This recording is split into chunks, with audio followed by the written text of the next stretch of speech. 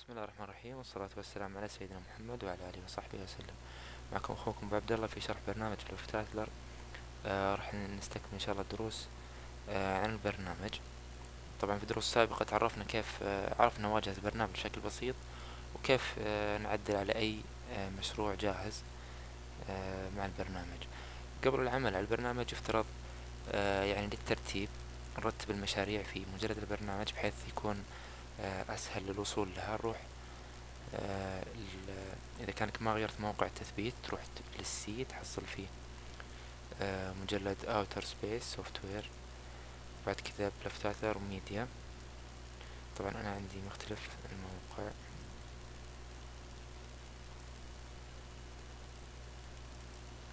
BluffTitler media تفتح المجلد تلاحظ عندك في مشاريع اللي هي آه، مشاريع للبرنامج. يفترض أنك تجمعها جميعا وتحطها في مجلد باسم show من هنا أو shows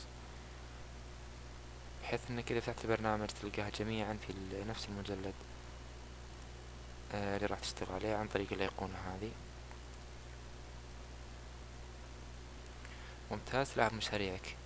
آه، فيها اللي في مجلدات وفيها اللي ظاهر معك بإمكانك تحدد أي آه، مشروع بعد كذا آه، تفتحه في البرنامج.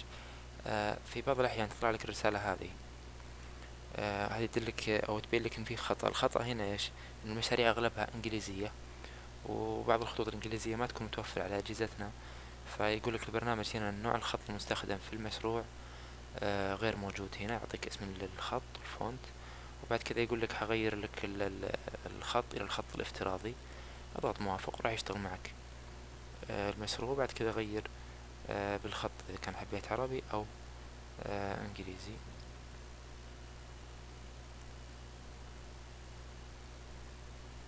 ممتاز. إحنا الآن راح نتعلم كيف نشتغل في المشروع من الأساس.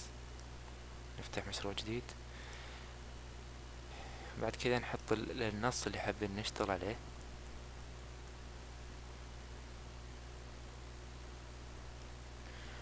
ممتاز بعد كذا نغير نوع الخط. نوع الخط هنا في نقطة معينة.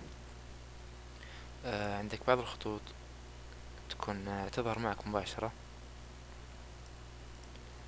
تظهر معك هنا تلاحظ إن الخط تغير اللي هو اللي تشاهد الآن. آه بعض الخطوط لا يعني تكون موجودة عندك لكن ما ما تلاحظ في أي تغيير. المشكلة هنا في إيش؟ في الكود تبع الخط. يعني عندك هنا ال NSI وعندك الارابيك وعندك الانكود من هنا. هذه تقريبا الثلاث هي اللي ممكن آه تلقى نوع الخط اللي آه يشغل لك أو اللي يتعرف على نوع الخط العربي الموجود عندك. طيب الآن نحدد خط معين.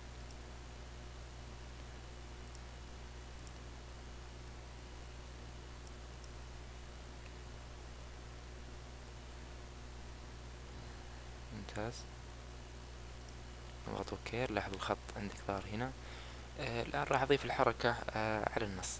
يفترض أن موقع النص النهائي يكون هنا آه إذا كان حضيف نصين مثلا وعلى نفس ال layer اللي أنا شغال عليه راح أسوي آه نسخ راح ألاحظ أن أضيف معي آه layer جديد رقم خمسة وأعدل عليه النص الثاني إذا كان حاب أشتغل على نص ثاني. ممتاز. وأحدد موقعه بعد كذا راح أضيف آه الحركة. راح أحدد على النص الأول رقم أربعة وأرجع آه ال key frame اللي سوينا أول واحد آه عدد معين من ال frame ات وبعد كذا أرجع بالمؤشر وأتأكد إني محدد على ال position الموقع وأحدد موقع النص خارج الشاشة. جيد. بعد كذا أروح للنص الآخر وبنفس الطريقة أرجع المؤشر أو أرجع الكي فريم. مسافة معينة وبعد كذا ارجع المؤشر لحظة. يعني أعمل آه، آه، مزامنة مع دخول النص الأول والنص الثاني. بعد ما يثبت يكون داخل النص. الآن محدد على النص رقم خمسة اللي هو الثاني. وبعد كذا أخليه خارج الشاشة.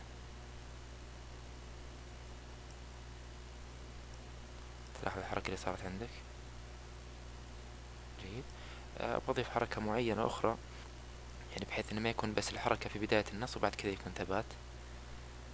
آه، ممكن إني أسوي مثلا تراجع لشي بسيط وأضيف نقطة على نفس ال layer آه، وأسوي تراجع. position أروح هنا مثلا. جيد. مثلا لا نستغني عن الحركة هذه نضيف آه، حركة عامة نروح إلى layer تبع الكاميرا الأول. ونلاحظ مثلا في key frame واحد أول. مشي المؤشر إلى آخر ال timeline بعد كذا أروح عند الأوامر هنا أسوي مثلا rotation مثلا دوران بعد كذا أشغل ألاحظ إيش بيصير معي. نص معين حركة معينة آه، حسب اللي حاب يكون آه، أضيف أي حركة أخرى حدد على ال layer المطلوب خلينا أقولك مثلا دوران هنا.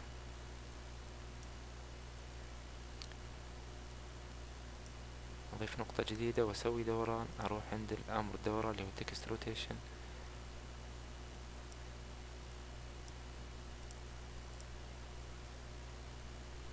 أوسع المسافة بينهم بحيث أن تكون السرعة أبطأ. وأشغل أشوف نتيجة العمل. يعني الفكرة انه يعطيك أكثر من مجال باكثر من حركة عن طريق آه ال keyframe. حدد keyframe وعطى الأمر الذي تحب يكون وبعد كذا آه تفرج النتيجة. الوقت عندي مثلا خلينا نقول لك هنا ثلاث ثواني يعني قليل. أبو حابة ازيده يعني أثناء العمل بدل ما قد أعيد المشروع من البداية أروح هنا.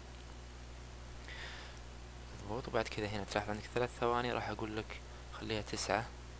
يعطيني ثلاث أوامر هنا. عندك stretch يمدد لك نفس ال timeline بنفس المسافات. يعني آه هنا عندك مثلا الثانية الأولى فيها أمرين فيها آه عفوا فيها ثلاث كفريمات. طيب. بيمددها بنفس المسافة. يعني بيخليها يعني نفس البعد اللي بين الأول والثاني نفس اللي بين الثاني والثالث. ممتاز؟ الخيار الثاني يعطيك إياها يعني add to end يعطيك زيادة بعد آخر نقطة. هذا يعطيك زيادة بعد أول نقطة. خلينا نسوي stretch هنا. تلاحظ الحركة عموما صارت بطيئة بحيث إن المسافات بعدت. آه فالحركة راح تكون أبطأ. آه عندك بإمكانك تقلل السرعة بحيث إن يعني تقارب بين النقاط. ممتاز. آه حاب مثلا أغير لون النص أحدد ال layer المطلوب آه أروح عند color آه من F ثلاثة لوحة الألوان حدد اللون المطلوب بعد كذا اللون تغير. تلاحظ عندك لو شغلت اللون ما زال أبيض وبعد كذا لما يوصل النقطة الثانية يرجع اللون المطلوب ويرجع الأخير آه، إلى اللون الأساسي. السبب هنا أني عدلت اللون على فقط ال keyframe الأوسط اللي هنا. إذا حاب التعديل آه، يكون على عموم الكي فريمات راح يسوي تراجع وحدد الأمر المطلوب اللي هو color وأتأكد إني محدد ال layer المطلوب. وبعد كذا فعل الخيار هذا ال all keys راح يفعل لي اللون على جميع آه، المفاتيح. أضغط F ثلاثة أختار اللون. راح تلاحظ اللون صار عندك في عموم آه، المفاتيح وعموم حركة النص من البداية آه، النهاية. في تأثيرات كثيرة للبرنامج. عندك هنا إذا حاب تضيف إطار للنص يعني عندك إذا تفتح هنا تلاحظ عندك أكثر من إطار معين. تلاحظ أضيف عندك إطار ذهبي هنا. وبإمكانك تستعرضها وتشوف التغيرات أو التعديلات على الإطارات طبعا كل ما تضيف أي حاجة راح يضيف لك لاير عليه آه، آه، بالمؤثر. إذا حاب ألغي المؤثرات جميعا على النص أحدد على ال layer المطلوب اللي عليه التأثيرات وألغي delete all attached layer تلاحظ هنا. أضغط راح يلغي لي أي تأثير آه، مضاف للنص. عندك الخيارين هذه آه هذا إذا حاب يكون في الإضافة particle أو شيء. آه خيارات كثيرة عندك فلابد تجربها بحيث إنك تطلع على آه أدائها. مثلا تلاحظ عندك هنا راح ألغيه وراح أشوف واحد ثاني. تأثيرات مرتبطة بالنص المحدد. راح ألغيه برضو راح أضيف من الخيار الثاني. آه تأثيرات ثانية راح تكون داخل النص على نفس النص يعني نفس الكلمة. آه مجرد آه استعرض أنت وشوف آه الشغل أو الشيء اللي يناسبك. اللاير هذا مثلا عجبني لكن الألوان حاب أغيرها. حدد عليه آه الطبقة اللي أضيفت اللي هي البلازما. وبعد كذا اختار الأمر اللي هي اللون. عندك هنا لونين. اللون الأول راح أقول لك خله فاتح مثلا اللون الثاني راح أخليه آه، بلون آخر. وتلاحظ التأثير آه، صار مدمج في نفس النص. طيب احذي على نفس النص وألغي التأثير. حاب مثلا أغير النص نفسه بطبقة أو بصورة عندي. أنا محدد على نفس النص أروح هنا. اغير التكستر تبع آه، النص ويستفتح لي مستعرض الصور الموجودة عندك بإمكانك تختار أي آه، صورة وراح تلاحظ إنها آه، تعدلت على النص. هنا ممكن أضيف إطار.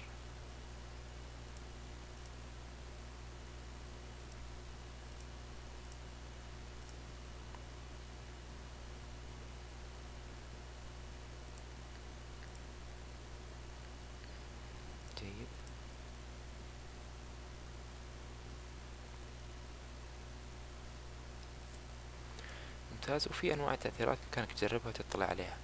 آه عندك الخيارات هذه آه غالبا يعني ما فيها ذاك الفرق الكبير أو ذاك ال آه يعني أنا شخصيا ما أستخدمها صراحة كثير لكن هي تعطيك خيارات في من ناحية آه الكلمة نفسها وتسطيحها وحدودها.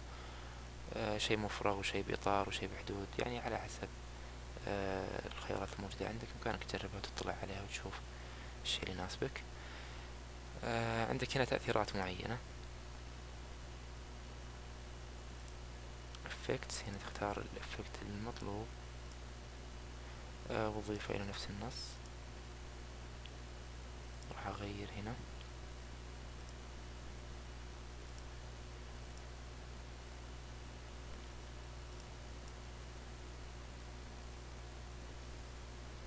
ممتاز. يعني مع التجربة وال والاطلاع على البرنامج ممكن آه، يفيدك في آه، فهم البرنامج بشكل آه، أدق. عندك الخيار هذا بالنسبة لل keyframe يعني كل keyframe له وضعية معينة ممكن نختار أحد الأنواع ونشوف طريقة عمله. تلاحظ فيه زي الارتداد. يعني على كل keyframe صار فيه زي الارتداد مع كل حركة. بإمكانك تجرب أي بإمكانك تجربها جميعا وتشوف طريقة عملها طبعا يفترض قبل ما تبدأ في أي مشروع تكون أنت حددت يعني أبعاد مشروعك أبعاد الشاشة من هنا تضغط الخيار هذا يفتح لك آه الأبعاد الموجودة عندك أو بإمكانك تكتبها بشكل يدوي إذا كانك آه عندك وضع معين بالنسبة لأبعاد الطول آه إلى العرض. كذا انتهينا تقريبا بشكل عام آه إنشاء مشروع كامل طريقة معرفة التحريك آه إضافة الألوان إضافة أي مؤثرات ثانية. إذا حاب تضيف خلفية صورية من عندك من هنا تضيف. إذا حاب تخليها مفرغة وبعد كذا تضيف خلفية معينة فيديو أو أي شيء آخر عن طريق برنامج آه للمونتاج بإمكانك تخليها مفرغة أسود وبعد كذا تختار من file export as movie بعد كذا تختار الخيار الثاني آه تختار ال high بالنسبة للصوت هنا ما ما نستخدم أي صوت هنا بالنسبة لل ال quality تبع جودة العمل بعد كذا اضغط okay. يعطيك موقع الحفظ حدد الموقع المناسب. هذا بشكل عام عن برنامج البرنامج تلاحظ انه بسيط. طبعا هو يعني صحيح غير احترافي لكن بسيط وسريع وسلس يعني في آه، في العمل يفيدك في الأعمال البسيطة آه، والسريعة. هذا اللي حبيت أقدمه لكم. السلام عليكم ورحمة الله وبركاته.